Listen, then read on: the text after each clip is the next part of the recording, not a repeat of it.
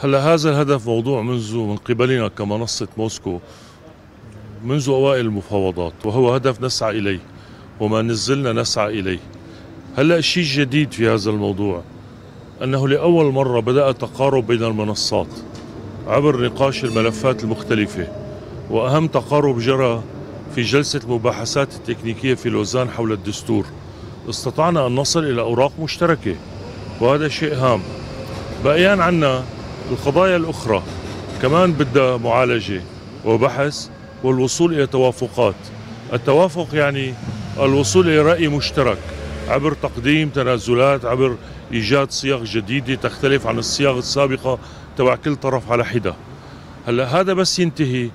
موضوع تكوين وفد واحد ولا أقول موحد لأنه كل طرف عنده برامجه المختلفة عن الأخرى. ولكن وفد واحد يمثل أوسع طيف من المعارضة السورية أصبح يصبح أمرا واقعيا. لا ننتظر ذلك خلال هذه الجولة ولكن حتى الجولة القادمة في أكثر من شهر نعتقد أننا سنصبح جاهزين للبدء بالحديث حول تشكيل الوفد الواحد.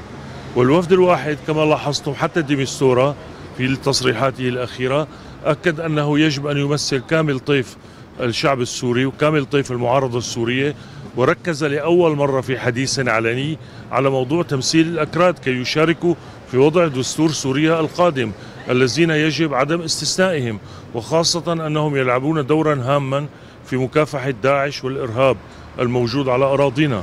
لذلك هم أصحاب قضية أصحاب أرض مثلهم مثل كل السوريين ونحن لن نقبل أن يناقش الدستور السوري دون وجودهم. وهذا الأمر قلناه منذ اللحظة الأولى.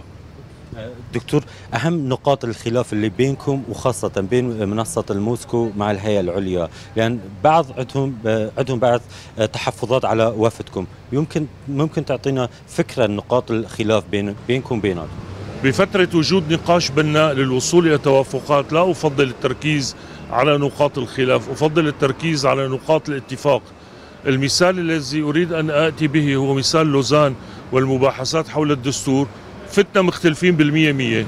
طلعنا متفقين 75% بعد ست أيام من النقاش كل يوم 15 ساعة عمل. يعني 90 ساعة نقاش أدت إلى تقارب بحدود 75% لذلك أعتقد أن المعارضة السورية لأول مرة في تاريخها منذ بدء الأزمة تجلس معا وجها لوجه وتنظر في أعين بعضها البعض.